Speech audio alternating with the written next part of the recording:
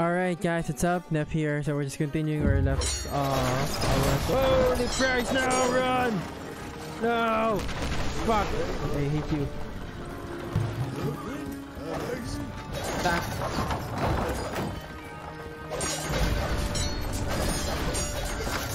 I know this is gonna be a short one. I mean, I'm just gonna have to start all of these. There's still a fishing boat there. You're still you're still trying, man. That's the thing with the AI. Uh, I'm not sure if they just refine like the graphics and stuff, but yeah, are you guys too near to attack this? Oh, attack this.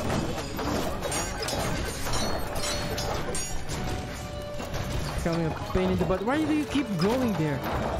Jesus Christ. What's wrong with you, boy?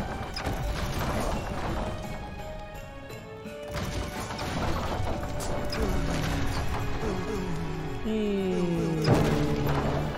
Oh, okay, yeah, I knew it. This is, this is a really short one. Thanks to your charismatic leadership, the Athenians have successfully established settlements on the coast of Asia in Ionia.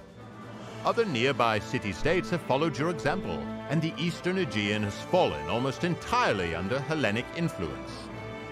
As time passes, you watch with pride as settlements such as Miletus and Halicarnassus grow into successful urban centers, producing several marvelous architectural wonders and numerous philosophers, geographers, and mathematicians. Commerce is abundant, and the growing trade routes contribute greatly to the wealth of your city-state. Hellenic influence? I'm curious what that means. So yeah, it's just a really quick video. I'm not sure if I'm just gonna add this to the previous one since it's just two minutes. it's a waste of uh yeah, you can like, you can subscribe. Thank you for watching. I'll just see you in the next one. Thank you.